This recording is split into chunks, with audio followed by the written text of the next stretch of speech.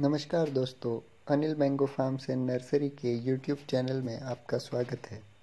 यहाँ पर हम लोग केसर के अलावा सौ से भी ज़्यादा मैंगो वेराइटीज़ का प्रोडक्शन करते हैं और उनमें से एक जो कि आजकल काफ़ी ज़्यादा पॉपुलर हो चुका है, वो है सोनपरी। तो दोस्तों, ये सोनपरी के प्लांट्स है, आप देख सकते हैं। ये सभी जिन्युइन सोनपरी के प्लांट्स है, दो से तीन फीट का इनका हाइट है। और ये सभी देसी गुटली में ग्राफ्ट किए हुए हैं। दोस्तों, अगर आप कोई भी मैंगो वैरायटी लेते हो तो ये चेक करना ज़रूरी है कि वो देसी गुटली में ग्राफ्ट किया हुआ है या नहीं, क्योंकि देसी गुटली में ग्राफ्टेड प्लांट का ग्रोथ बहुत जल्दी होता है।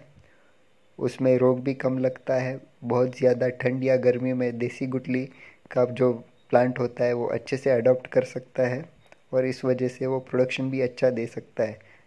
कई सारे लोग केसर मैंगो की गुटली में ग्राफ्टिंग करते हैं, जो कि काफ़ी गलत है, क्योंकि केसर मैंगो की गुटली में प्लांट का ग्रोथ अच्छे से नहीं होता है, उसमें बीमारी भी ज़्यादा आती है और इवेंचुअली प्रोडक्शन कम मिलता है, जिस, जो कि फार्मर के लिए बहुत बड़ा लॉस है।